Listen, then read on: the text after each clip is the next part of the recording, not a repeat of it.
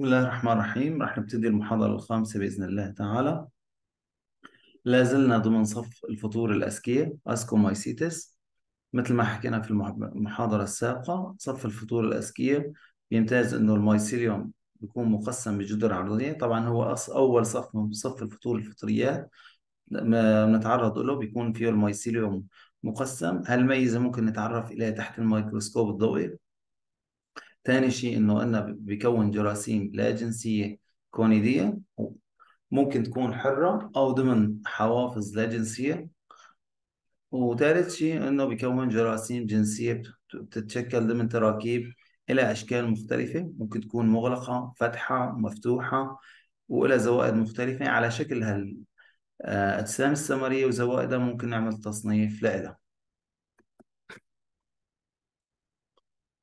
طبعا أنا في, البداية حابب أحكي كلمتين عن موضوع حلقة البحث مثل ما قلت لكم. الغاية طبعا من حلقة البحث إفادة الطالب نفسه. يعني المعلومة اللي رح تجيبها أنت المفروض تستفيد منها قبل أي حد. غالبا المراجع العربية ما فيها أي إفادة. أنت إذا بتمسك أي مقالة باللغة الإنجليزية بتكون من مجلة محترمة محكمة زي مثل ما بيقولوا ممكن تغنيك عن عشرات المواقع العربية.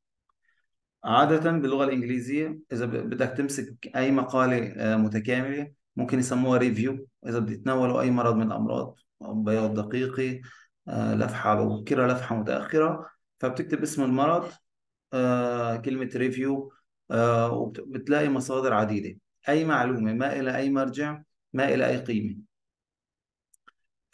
فقبل ما تدور على المعلومة دور على المرجع اللي أنت عم تتناوله. المرجع ممكن يكون مقالة ممكن يكون كتاب ممكن يكون مؤتمر أو بحث علمي ممكن يكون آه، صفحة على الإنترنت. حاليا في كتير مواقع صار آه، غير مطبوعة بتكون عبارة عن إلى موقع على الإنترنت. حاليا في جهة بتقيم المقالات اسمها تومسون رايترز على حسب نسبة الاستشهاد اللي بتتناول فيه القراء والباحثين بتكون تقييم هالمجلة. فيك حاليا تركك من الدول الأوروبية حتى على المجال العربي آه، دول مثل السعودية مثل مصر. أنت إذا تسجل على أي درجة آه، من الماجستير أو الدكتوراه شرط من شروط تحصل على الدرجة أنك تقدم بحث في مجلة محكمة. آه، محكمة ويكون لها impact factor بيسموه يعني معتبر. أنا هون عم بحكي على شيء اسمه الاقتباس. أنا لما باخذ أي معلومة حتى من أي مجلة فأخذت المعلومات اللي فيها أربع خمس أسطر مثلا وعادة بكتب في نهاية المرجع مثلا آه، مقابل نشر البحث بال 2018 وبكتب في آخر البحث معلومات محمد مقابل 2014 آه، البحث اللي عامله المجلة وعدد الصفحات في المجلة من كذا لكذا. هذا يعتبر حاليا آه، اقتباس أو حتى سرقة علمية. لازم آه، حاليا لتأخذ أي معلومة تعمل شيء اسمه ريفريز إعادة صياغة وتحط فيها بصمتك. يعني نفس المعلومة مثلا آه، تتكون الجراثيم الكونيدية حرة أو ضمن حوافظ وتنتقل عن طريق الهواء. تعمل إعادة صياغة تقلب الجملة بشكل معين وبعدين تكتب المرجع لها لتكون معلومة صح وما حدا ينتقدك آه، أما إذا كتبتها مثل ما هي وحطيت مرجع هذا يعتبر اقتباس. آه، حاليا آه، بلجان التشكيل بالهيئات العلمية أنت لا تقدم لأي درجة حتى قلت لك في الدول العربية حاليا الرسالة بتنفحص بتدخل على الكمبيوتر على أحد البرامج حاليا في كتير برامج تمسك هالرسالة وبتفحص أنت مستشهد بمين. كل الجمل اللي أنت آخذها من أي حدا من كتاب من مجلة طبعا بتلاقي موجودة. فلان كذا وفلان كذا وكذا. ولو كانت نسبتها عالية الرسالة بتترفض أو بيطلب منك إعادة صياغتها. فهالأمر طبعا عم يزداد. أنا مشان بس تاخذوا فكرة عن الموضوع ولو بسيطة نحن عم نتعلم لسه في مرحلة الماجستير. حاول دائما نبتدي صح بس ما أكثر وإذا في أي شيء أو أي آه، بالمراجع ب- بأي شيء محتاجين أنا جاهز. بسم الله الرحمن الرحيم.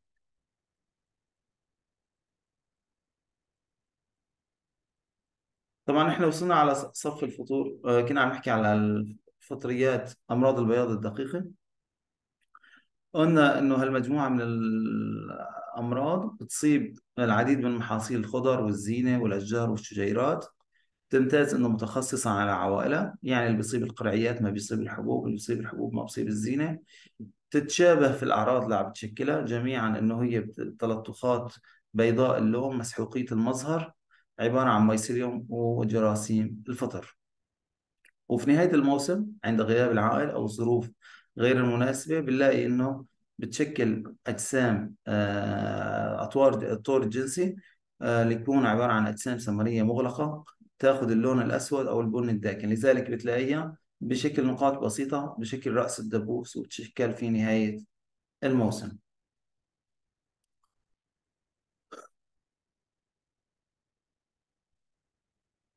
طبعا بالنسبة للأعراض أحد الزملاء كان عم بيحكي على موضوع القرعيات والبياض الدقيقي على القرعيات. طبعا ما في شيء مميز يعني الأعراض بتلاقيها ممكن تختلف من عائل لعائل لكن جميعها بتمتاز إنه آه تلطخات بيضاء مسحوقية اللون سواء على الأوراق على البتلات على ثمار مثلا مثل العنب جميعها بتشترك بهالأعراض. ومثل ما حكينا إنه الجسم الثمري اللي عم يتشكل بناء على شكل الجسم الثمري والزوائد اللي عم تتشكل على هالجسم نحن ممكن نميز الثمرة آه على حسب الجنس اللي عم تشكله. يعني مثلا بالحالة الأولى عندي زوائد خيطية. مثل ما أنا شايفين هون الزوائد على الجسم الثمري زوائد خيطية. هي بشكلوا آه، أجناس ال Erysiphe وال Leveillula وال Sphaerotheca الحالة الثانية آه عندي زوائد ملتفة على شكل حلقة كما في حالة ال Un- ال Uncinula. يعني في عندي التفاف في ال- ال- الزوائد. الحالة الثالثة في عندي زوائد ذات أطراف ثنائية التشعب مثل أصناف ال Microsphaera وال Podosphaera. أو ممكن تكون أجزاء بصلية الشكل مثل الفطر Phyllactinia هاي بالنسبة للطور الجنسي أيضا الطور اللاجنسي ممكن تكون عبارة عن جرثومة كونيدية واحدة مثل ال- ال- ال Oidiopsis أو Ovulariopsis أو إنه يكون سلسلة من الجراثيم الكونيدية كما هو الحال في حالة ال Oidium. رح نحكي شوي على بعض الأمثلة على البياض الدقيقي أول شيء عندي البياض الدقيقي في القرعيات يوجد الم- المرض في معظم مناطق زراعة القرعيات في العالم في كل الحقول المكشوفة والبيوت المحمية ويشكل خطورة في الإنتاج وجميع نباتات العائلة القرعية قابلة للإصابة بالمرض فيما عدا أصناف الخيار التجارية المقاومة. يعني آه، المرض لما بشكل خطورة على بعض الأصناف بتلاقي الصنف جاي مقاوم حسب تعليمات الشركة المنتجة له. يؤثر المرض على الإنتاج حيث يقلل من حجم وعدد الثمار على النباتات المصابة وأيضا تقل فترة حصاد المحصول. يؤثر المرض على نوعية الثمار المتكونة على النباتات. طبعا النوعية رح تتأثر نتيجة أنه عم بيأثر على المسطح الأخضر ال- ال- اللي عم بيقوم بعملية الكلوروفيل. المسبب هو وال Erysiphe cichoracearum طبعا إذا جينا نتعرف على دورة حياة المرض فرح نلاقي في عندي إصابة على الأوراق ال- البقع المسحوقية الموجودة على الأوراق واللي رح يتشكل عليها جراثيم كونيدية. هالجرثومة ممكن تحتفظ بحيويتها من واحد لسبعة أيام. بعدين مجرد إنه تسقط على سطح الأوراق رح يصير في عندي التصاق لهالجرثومة أو ال spore وبعدين رح ينبت منها شيء اسمه عضو امتصاص أو haustorium وبعدين رح تشكل ال mycelial growth أو النمو الميسيليومي وبعدين رح تلاقي الأجسام الكونيدية آه، الجراثيم الكونيدية خلال ثلاث إلى سبعة أيام من الإصابة. وبعدين راح تتكرر الإصابة الورق آه، على المجموع الخضري مرة ثانية. فالطور اللاجنسي ممكن يتكرر عدة مرات خلال موسم النمو. اللي بيساعد آه، على التكشف السريع للمرض هي الكثافة النباتية العالية. كل ما كان في كثافة كثيرة رح يرتفع نسبة الرطوبة ومسطح الأخضر. انخفاض شدة الإضاءة أيضا رح تزود من نسبة الرطوبة ودرجة حرارة معتدلة ما بين 20 إلى 21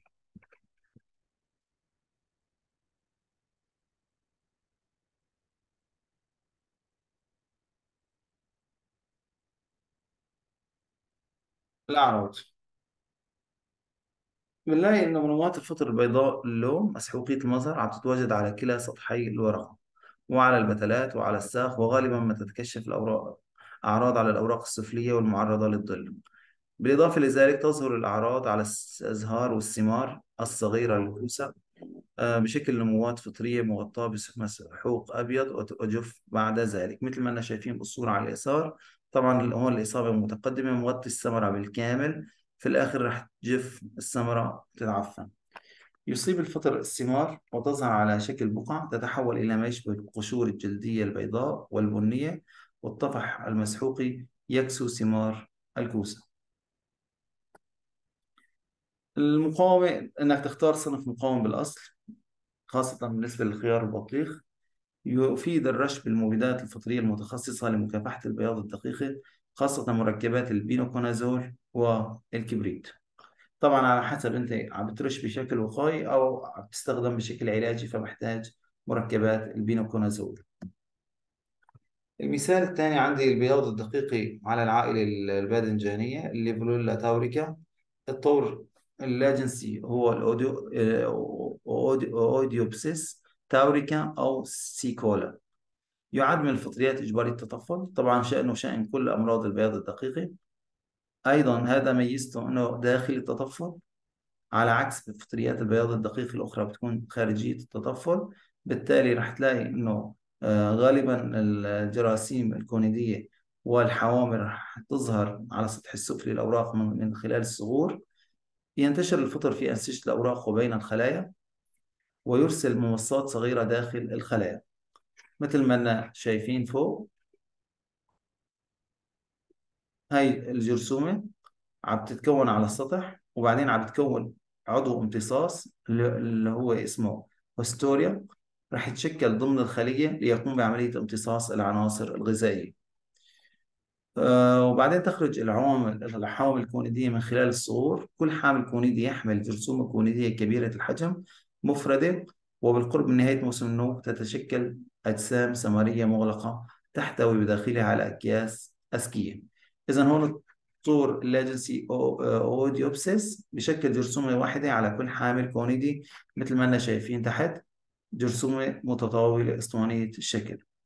يقضي الفطر فترة بقائه على العوائل النباتية التابعة للعائلة الباذنجانية أو على الحشائش التابعة لنفس العائلة طبعا دائما لما بنسرد حكاية أي أي فطر هالشيء في ده طريقة المكافحة. يعني لما بنقول عوائل تابعة للعائلة الباذنجانية يعني إذا زرعت محصول ثاني تابع للعائلة وأنت بتأمن استمرار المرض.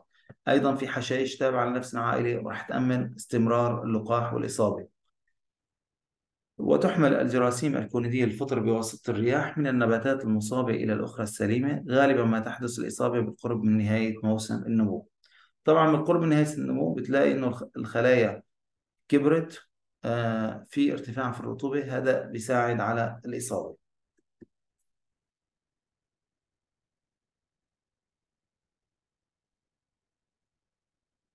يظهر الفطر غالبا على السطح السفلي للأوراق وممكن يظهر على كلا سطحي الورقة بشكل نموات بيضاء اللون دقيقية مسحوقية المظهر عبارة عن الحوامل الكونيدية للفطر والجراثيم الكونيدية. أخيرا تموت أنسجة البقع وتجف الأوراق المصابة بالكامل. في حالات الإصابة الشديدة قد تظهر الأعراض أيضا على السيقان وأعناق الأوراق. المكافحة عموما رح تلاقيها بأمراض البيض الدقيقة يعني متشابهة ما في شيء ما في اختلاف. يعني إذا نحن عم نرش بشكل وقائي رح نعتمد على رش آه، آه، الكبريت الميكروني. إذا عم نتعامل بشكل علاجي ممكن نرش مركبات ال benzimidazole اللي هن ال- ال benomyl ال carbendazim thiophanate ال methyl أو مركبات ال triticonazole. يعني على حسب ال- العارض قدامي أو الإصابة هل هي أنا بتعامل بشكل وقائي ولا علاجي؟ مركبات triticonazole مثل tri ti- triticonazole tebuconazole penconazole difenoconazole epo- epoxiconazole فلوسيلازول. كلها ممكن تساعد في القضاء على آه، إصابات البياض الدقيقي طبعا هذا ملا- آه، راح يتكرر تقريبا في كل أمراض البياض الدقيقي البياض الدقيقي في الورد في الورد الفطر المسبب سبايروثيكا بنوزا يعد أيضا من الفطريات إجبارية التطفل يصيب الفطر الأوراق الساق والأجزاء الزهرية. الفطر ينمو خارجيا على سطح الأوراق أن نحن أغلب الإصابات بتكون سطحية. بيكون مايسيليوم وجراثيم وحوامل كونيدية ويرسل الممصات إلى خلايا بشرة النبات لامتصاص الغذاء. لا يسبب موت للنبات ولكن يقلل من نمو النبات ويسبب فقد في أزهار القطف. طبعا أنا بالنسبة للورد أهم شيء عندي ال- الثمرة والحامل الزهري اللي هو الجزء الاقتصادي في النبات. تختلف أصناف الورد في قابليتها للإصابة بالمرض ووقت حدوث الإصابة وللفطر سلالات عديدة. حيث تلعب الظروف البيئية والعمليات الزراعية دور هام في تكشف الأعراض وتطور المرض وتضرر النبات. يعني نوعية ال- ال- الري زيادة الكثافة النباتية كلها ممكن تساعد على الإصابة النباتية. تظهر الأعراض على السطح السفلي ثم تتكشف على السطح العلوي للورقة مسببة نقص في مساحة الورقة ويغطي الفطر سطح الورقة بالكامل. ويصيب الفطر أيضا الساق والبراعم الزهرية ونادرا ما تصيب البتلات إلا في حالات الإصابة الشديدة. وللظروف البيئية دور هام في تطور وتكشف المرض. يلائم الرطوبة والمناخ الدافئ نهارا وبارد ليلا. في نقطة مهمة إنه آه، عادة أنا لما بداية التجرسم أي فطر عم بش- بشكل لي سبور آه، أبواق أو جراثيم الجرثومة لما بتنتقل على عي... على أي ع- أي عائل نباتي محتاجة إلى فيلم رقيق من الماء. هالفيلم ممكن يجي من خلال الندى من خلال آه، المطر من خلال الري؟ لا. تنبت الجرثومة ومن ثم تخترق الخلية الع- ال- النباتية. في حالة جراثيم الفترات الدقيقة ال- الرطوبة ليست حد فاصل لحدوث الإصابة لأنها بتحتوي بداخلها على كمية من الماء تك- تكفي لإنبات الجراثيم. وحدوث العدوى.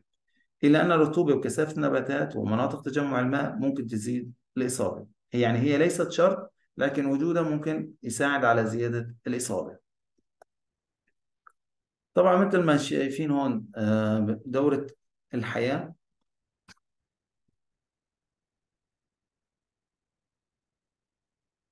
أنا هون عندي آه، أوراق وأعضاء زهرية.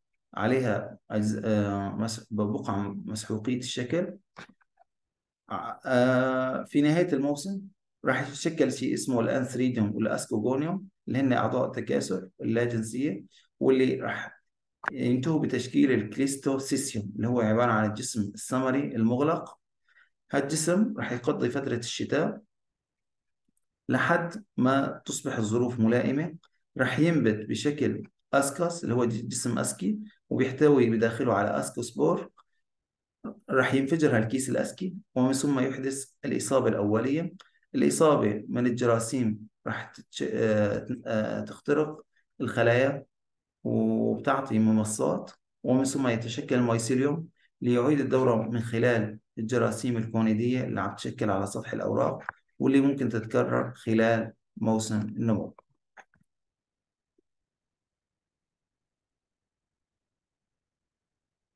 المكافحة زراعة أصناف مقاومة عدم زيادة كثافة النباتات تقليم الأجزاء المصابة.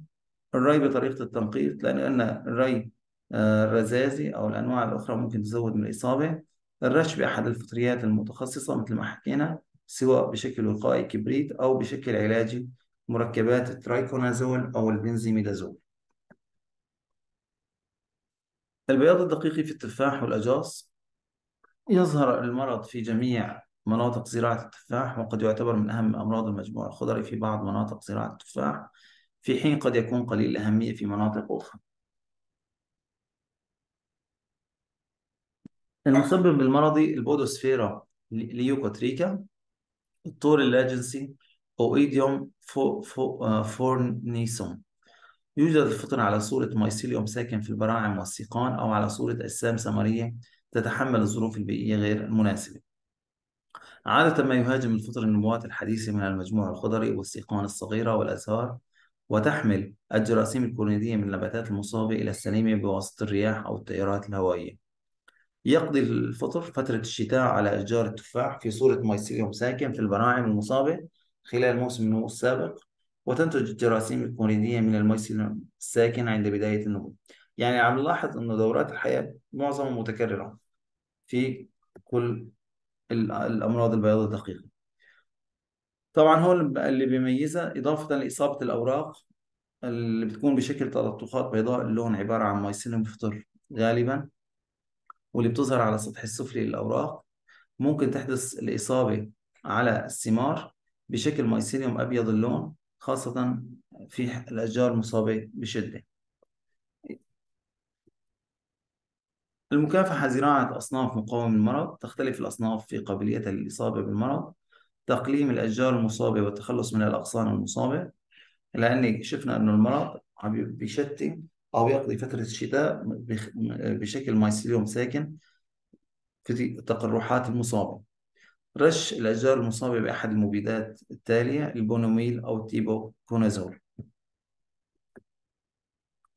هيك بكون حكينا على عدة أمثلة من أمراض البياض الدقيقة في عندنا آه، المرض الشامل اللي بيسبب أعفان جذور في المسطحات الخضراء متسبب عن الفطر Gaeumannomyces graminis. طبعا بيصيب عدة عوائل مثل القمح والشعير الشوفان والنجيل اللي هو بيتزرع في المسطحات الخضراء وبيصيب محاصيل أخرى مثل الذرة والحشائش فبنلاقي عادة الاسم العلمي بينتهي بفار تريتيسي فار أفيني فار على حسب العائل اللي عم يصيبه شنو لا إله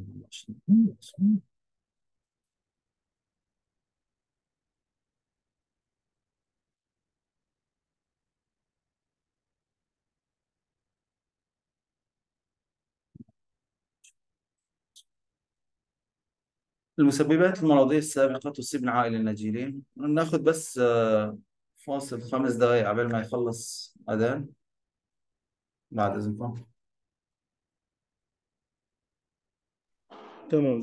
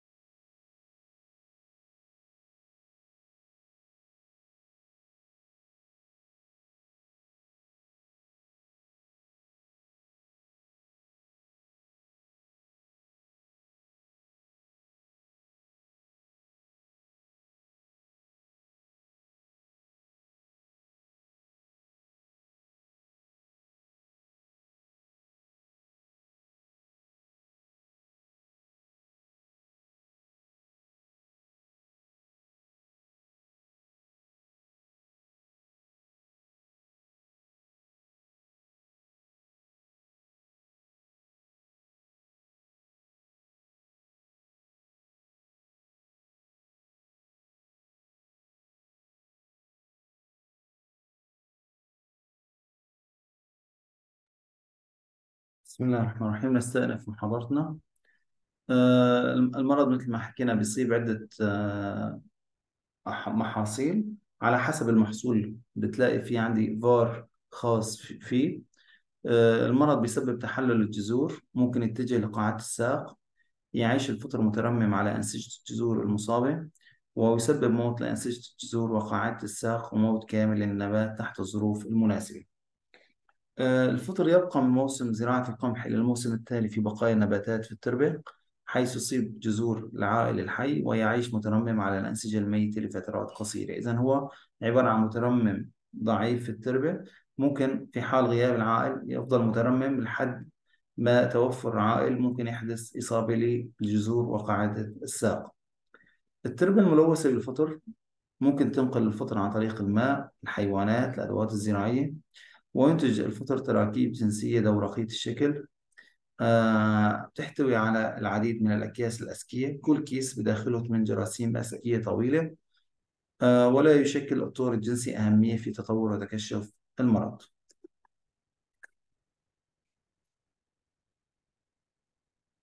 آه، يبقى الفطر في التربة في صورة mycelium في غياب العائل النباتي في بقايا نباتات الموسم السابق للزراعة أو يكون متطفل على الحشائش النجيلية. وعند موت جذور العائل بالقرب من بقايا النباتات المصابة تحدث العدوى للجذور من الهيفات الفطر على سطح الجذور والتي تتجه إلى الجذور وقاعات النبات آه، وأخيرا يحدث موت للنبات ثم يبقى الفطر مترمم على بقايا النباتات لموسم الزراعة التالي. يعني مثل ما حكينا الفطر في الأصل مترمم إما آه، على البقايا النباتية أو على الحشائش النجيلية. لحد توفر عائل حيث يصيب جذور النباتات وقاعدة النبات. وقلنا في نهاية الموسم راح يشكل مثل ما إحنا شايفين تحت آه، جسم ثمري دورق الشكل بيحتوي على جراثيم أسكية طويلة ممكن تخرج من فتحة ال- الجسم في نهاية الشتاء. أعراض بتكون آه، في حقل المصاب بشكل مساحات غير منتظمة الشكل من النباتات المصابة. عند بداية تكوين الحبوب في السنابل آه، ممكن نلاقي اصفرار للأوراق تقزم للنباتات ويحدث المرض في مساحة كبيرة دائرية الحقل. يعني أول ما بنشوف المرض بنشوفه بشكل بقع متناثرة في الحقل لونها أبيض. يظهر عفن بني داكن أو أسود عند قاعدة الساق وعند فحص الجذور تحت المجهر.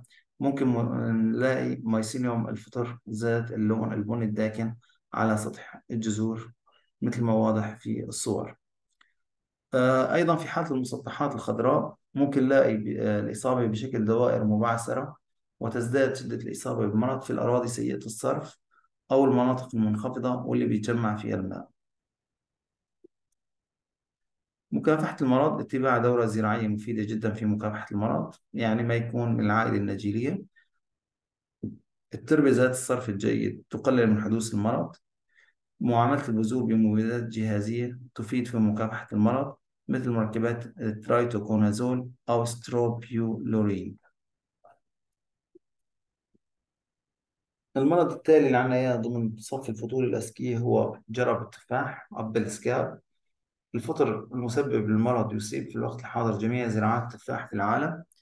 قد تصل نسبة الخسائر الناجمة عن المرض أكثر من 10% في مناطق زراعة التفاح. في المناطق ذات المناخ الرطب البارد. ترجع الخسائر إلى تأثير المرض على الثمار وتأثيره على النمو الخضري. طبعا نعرف أن المرض بيصيب المجموع الخضري إضافة إلى الثمار نفسها. ال- ال- الطور الكامل للفطر بنسميه سبيلوسيا بوم- بومي. آه الفطر بيكون جسم ثمري أسكي بيضاوي الشكل مثل ما هو لاحظ معنا على اليسار جسم ثمري أسكي بيضاوي الشكل. جواته بيترص عدد من الأكياس الثمرية بشكل متطور من حوالي من 50 إلى 100 كيس أسطواني الشكل كل واحد من هدول فيه 8 جراثيم أسكية ذات لون أصفر أو مخضر. والجرثومة نفسها بتلاحظ أنه مقسمة إلى جزئين. تحدث العدوى السنوية خلال موسم النمو بواسطة الجراثيم الكونيدية المتكونة على البقع المتكشفة على الأوراق أو الثمار. آه، ممكن الفطر يكون عدد كبير من الجراثيم على البقعة الواحدة يصل إلى 100 ألف جرثومة كونيدية والجرثومة الكونيدية صفراء إلى زيتونية اللون تشبه لهب الشمعة وتحمل الجراثيم الكونيدية على حوامل كونيدية قصيرة. طبعا إذا عملت مقطع في ورقة مصابة راح تلاقي إنه آه شكل لهب الشمعة الجرثومة الكونيدية. تنتشر الجراثيم خلال موسم النمو بواسطة الرياح ورذاذ الماء إلى أوراق أو ثمار جديدة على نفس الشجرة أو أشجار أخرى لتعطي بقع جديدة.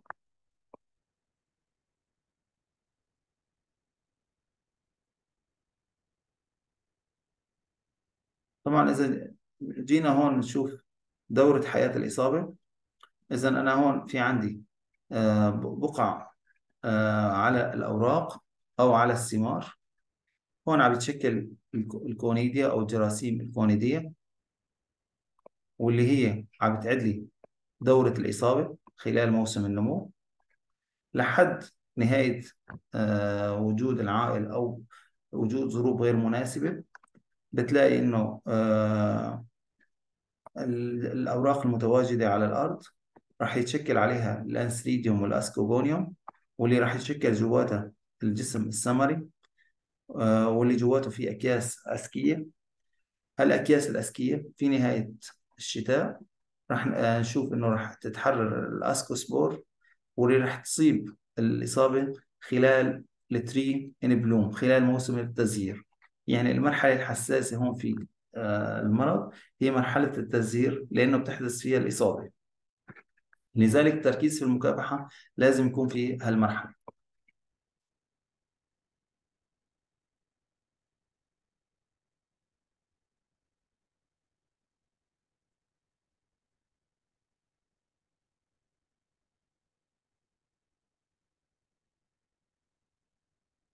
طبعا الأعراض أعراض مميزة. بنلاقي على الأوراق بقع لون بني أو لون زيتوني غامق آه، تظهر آه، تصبح خشنة المظهر. وتتعفن الثمار المصابة وأخيرا يحدث تشوه للثمار كامل النضج. يصيب أيضا آه، الأوراق والأزهار. فعند تكشف الأوراق تتكون بقع صغيرة ذات لون بني فاتح أو أخضر زيتوني على كلا سطحي الورقة. قد تحاط البقعة بحافة واضحة وقد تتحد البقع لتشمل مساحة كبيرة من المسطح الأخضر. وأخيرا يحدث تجاعد وتشوه للأوراق خلال موسم النمو. ثم تسقط الأوراق المصابة وقد تؤدي الإصابة إلى نضج مبكر للثمار. دائما لما بتدخلوا في أي حقل آه، حتى مو تفاح برتقان أو أي شيء بتلاقي إنه الثمار اللي فيها مشكلة إصابة فطرية أو آه، إصابة حشرية مثلا بتلاقي هي اللي بتنضج بشكل مبكر نتيجة إنه الفطر بيسرع عمليات التنفس آه، فبتظهر عليها الأعراض مبكر عن الثمار السليمة. يقضي الفطر فترة بقائه أثناء الشتاء على صورة أجسام ثمرية داخل أنسجة الأوراق والثمار المصابة الموجودة على الأرض من خلال الموسم السابق. ويمكن للفطر أيضا أن يقضي فترة بقائه في الشتاء على التقرحات يعني إما بقايا أو تقرحات موجودة على الأغصان. وعند نضج الأجسام الثمرية ينتج منها أكياس أسكية بداخلها جراثيم أسكية. المكافحة زراعة أصناف لها مقاومة عالية للمرض. يمكن مكافحة المرض عن طريق الرش بأحد المبيدات الفطرية ال captan ال benzimidazole اللي هو عبارة عن مركبات ال carbendazim ال benomyl وال thiophanate ال methyl آه عادة يضم يتم إضافة المبيدات بعد أسبوع واحد من سقوط البتلات ويكرر الرش من واحد إلى اثنين أسابيع حتى قرب الحصاد لأن الإصابة عم تحدث بموسم التزهير.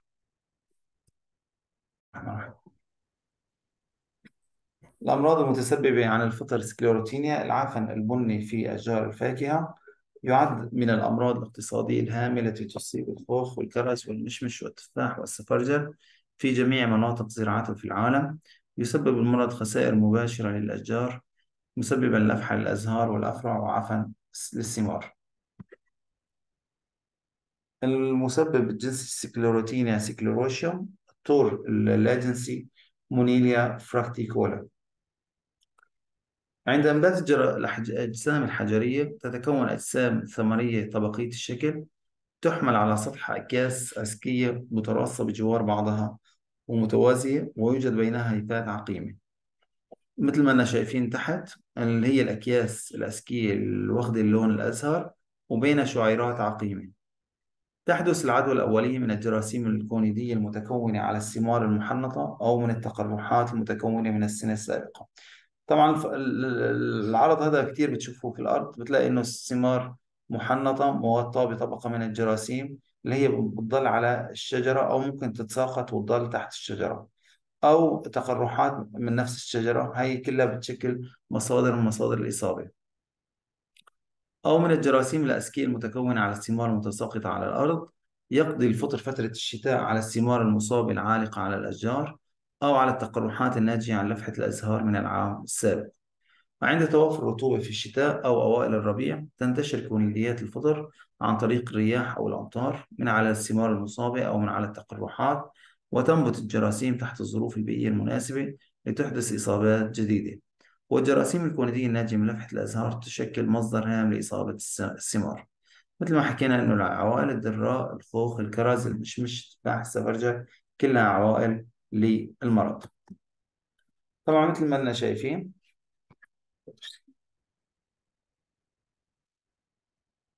في عندنا ثمار محنطة. آه على باقية على الأشجار آه هي ممكن تفضل على الشجرة أو ممكن توقع تحت وتضل تحت الشجرة. راح يشكل عليها أجسام ثمرية أجسام حجرية. هالأجسام الحجرية ميزتها إنها مثل ما شايفين بيكون مفتوح طبق الشكل ومترص عليه مثل ما هو واضح الأكياس الأسكية واللي بيناتها في عندي هيفات عقيمة. كل كيس من هالأكياس قلنا في أوائل الربيع ممكن ينبت لينتج لي ال conidiophore آه، طبعا لاحظ إنه الإصابة بهالمرض وجرب التفاح بتحصل عند موسم التزهير. بعدين رح تنتج الجراثيم الكونيدية وهالجراثيم الكونيدية رح تعيد الإصابة مرة ثانية أو في عندي كمان تقرحات اللي هي عبارة عن أغصان مصابة المفروض هي, هي يتم إزالتها خلال موسم النمو وبعد ما أزيلها أمسك هال ال- ال- ال- المخلفات أحرقها أو تبعد تماما عن الحقل ويتم تطهير مكان الإصابة بأحد المركبات النحاسية.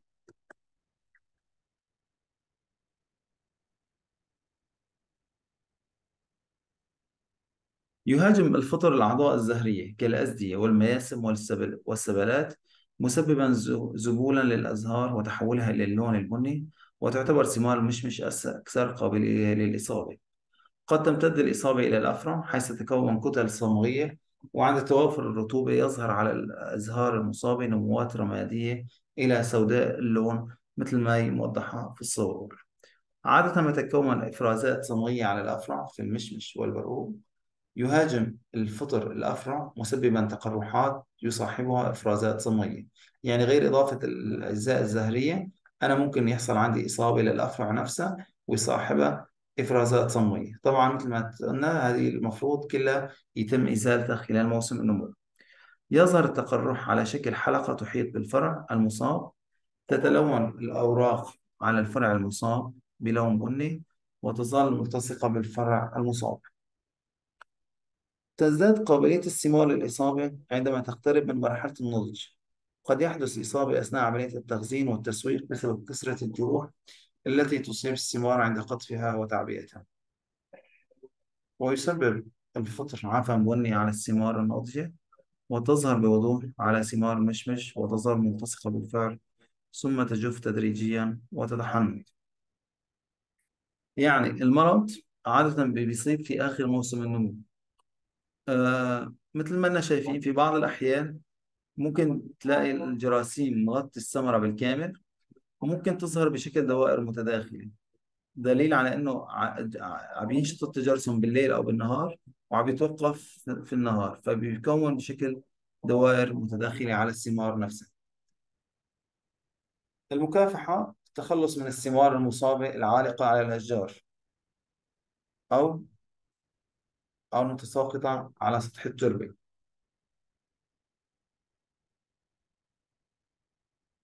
مثل ما قلنا هالثمار سواء عالقة على الأشجار أو متساقطة على التربة هي مصدر من مصادر الإصابة الأولية. تقليم الأفرع المصابة لتقليل مصادر العدوى الأولية. أيضا أي أفرع مصابة تتجمع وتطهر مكانها بأحد المركبات النحاسية وتبعد عن الحقل. تفيد مركبات البينوميل الكلوروسانولين البروبيوكونازول والإبريديون في مكافحة المرض. أنسب وقت لإضافة المبيد يكون عند تكشف الأجزاء الزهرية.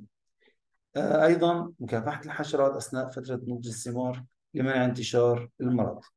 يجب أن تخزن الثمار تحت درجات حرارة باردة لأن أن أن الفطر أيضا ممكن يحصل فيما بعد الحصاد في حال حدوث جروح على الثمار وشكرا لحسن إصغائكم. إذا في أي أسئلة بتحبوا تفضل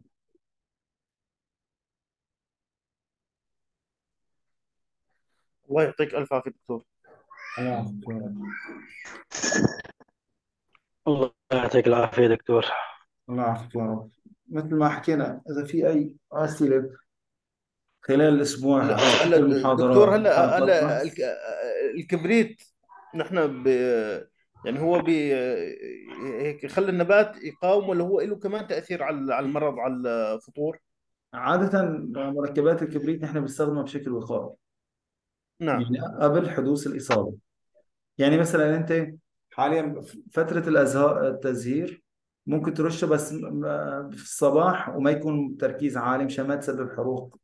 يعني الكبريت نحن بس نخشى من الموضوع آه، في الشمس ممكن يعمل لي حروق. فعادة في الصباح الباكر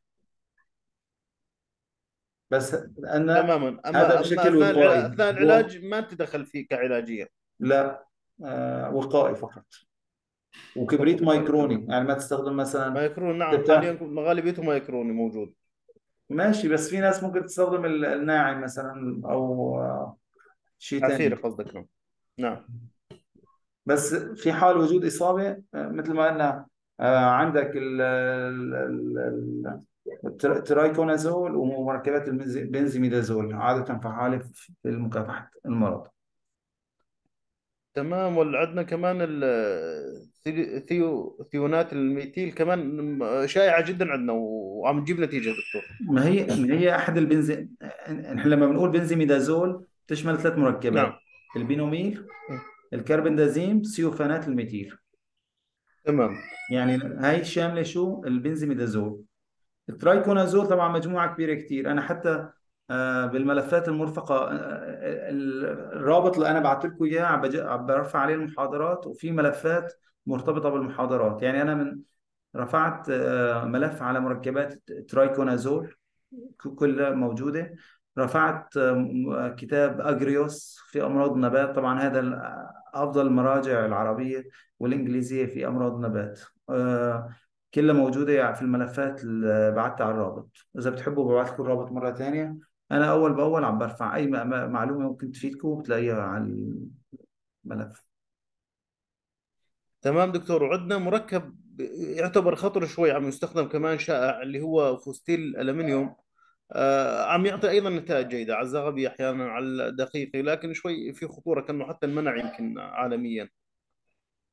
والله نحن بنستخدمه بس عادة في, في, في الأعفان في حالات خاصة. إحنا قلنا من قبل فوستيل الألمنيوم عنده ميزة ما هي موجودة عند أحد كثير من الم- الم- المبيدات إنه هو بينتشر من خلال أنسجة اللحاء خشب وأنسجة اللحاء يعني بالعادة المبيد أنت بترشه على المجموع الخضري ممكن ينزل لتحت بت- بترشه تحت ممكن يطلع فوق. نعم صحيح. وستيل الألمنيوم آه، ممكن يشتغل على كلا ال- أنسجة اللحاء وأنسجة الخشب فله ميزة بس. ب- بمجال البياض الدقيقي ما استخدمته. يعني أكثر استخدام نحن بنستخدمه بع- بعفان الجذور. يعني هو يعتبر الرائد في أعفان مع سيوفانات الميثيل كمان. التوبسين إنها المركبات ممتازة في مجال الأعفان. أنت بالآخر يعني بهالمجال آه، ب- بيهمك المركب بي- بي- بيعطيك نتيجة ويكون موفر عليك اقتصادي. يعني كمان الموضوع الاقتصادي مهم. تمام حاليا من جديد دكتور صارت عم تنزل خلائط. عم تيجي خليط أحيانا من ثلاث أنواع. ما هي يعني صارت عم تستخدم بكثرة. صارها تقريبا شي سنتين هاي الخلطات عم تنزل بالأسواق. ما أنت الخلائط من كتر تركيز نفس المركب إنه عم يترش نفس ال... عند الكل عند الهي فبتلاقي إنه ما دايما عم بي- بيعطي نتيجة. الخلائط عادة بكون مركبين أو ثلاثة كل مركب له آلية تأثير مختلفة. يعني مثلا ندوات ال- اللفحات المتأخرة استحالة تلاقي مثلا مبيد لحاله. مثلا فلويد كونازول مع مثلا آه، أزوكسيستروبين. دائما بتلاقي اثنين وثلاثة. ليش؟ مشان يكون آه، آليات تأثير مختلفة. في جزء منه عم بوقف الجراثيم في جزء عم بيتدخل مثلا آلية تكوين الجراثيم. هذا كله بيعطيك مدى مدى أكثر فالمركب اللي فيه اثنين ثلاثة أحسن بيكون. ليش؟ آه، بيقلل من إنه الفطر يك- يكون آه، مقاومة تجاه النبات. والشيء الثاني بيعطيك آه، آليات تأثير مختلفة. لكن رح تلاقي إنه ثمنه مرتفع مقارنة من المركب اللي بيشتغل على آه، شيء واحد. انت بس يعني نصيحة لما بتستخدم أي شيء ما تضل عم تكرر. يعني مثلا عم عم نقاوم جرب التفاح. فأنا عندي خيارات. ما أمسك نفس المبيد أفضل أكرره. دائما بينصحك إنه بدل في المركبات اللي أنت عم تستخدمها. يعني ممكن حتى كاسم تجاري مختلف لكن المادة الفعالة عم تكون واحدة. ما أنت ما عم تعمل شيء. هي هي. لازم يضل في تبديل في المادة الفعالة لتتفادى تجنب أي آه، تجنب سل- سلالات مقاومة للمرض. تماما دكتور صحيح. تمام. ماشي. بالتوفيق جميعا. الله يجزيك الخير دكتور. الله يعطيك العافية. ماشي. مع السلامة. الله يعطيك العافية. الله يعافيك بالتوفيق جميعا. مع السلامة.